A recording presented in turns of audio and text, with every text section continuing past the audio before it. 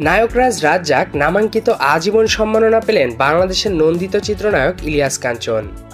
ক্যারিয়ারের প্রায় সাড়ে তিনশো সিনেমায় অভিনয় ও সড়ক নিরাপত্তা নিয়ে আন্দোলনের জন্য এ সম্মাননা দেওয়া হয়েছে তাকে।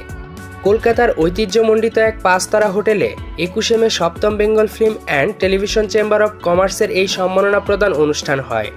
সেখানে বাংলাদেশের পাশাপাশি ভারত তথা কলকাতার বিনোদন জগতের তারকা উপস্থিত ছিলেন। সম্মাননা পেয়ে ইলিয়াস কাঞ্চন বলেন আমি সৃষ্টিকর্তাকে ধন্যবাদ জানাই। মানুষের কর্মের জন্যই আমরা। আমার দ্বারা মানুষের যেন ভালো কর্ম হোক, এটাই শুধু সৃষ্টিকর্তার কাছে আবেদন। তিনি আরও বলেন, একে তো কাজের স্বীকৃতি।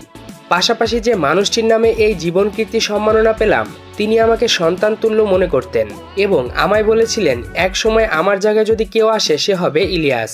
এতটাই উনি আমাকে ভালোবাসতেন। ওনার সন্তানও অভিনয় জগতে আছেন, কিন্তু সন্তানের জন্য এ কথা কখনো বলেননি।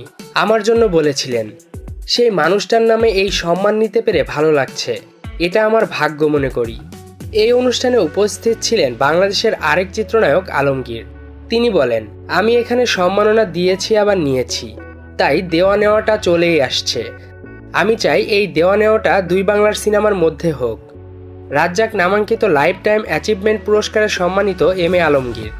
এদিন বিশিষ্ট অভিনেত্রী মাধবী মুখোপাধ্যায় পেয়েছেন হীরালাল জীবনকীর্তি সম্মাননা।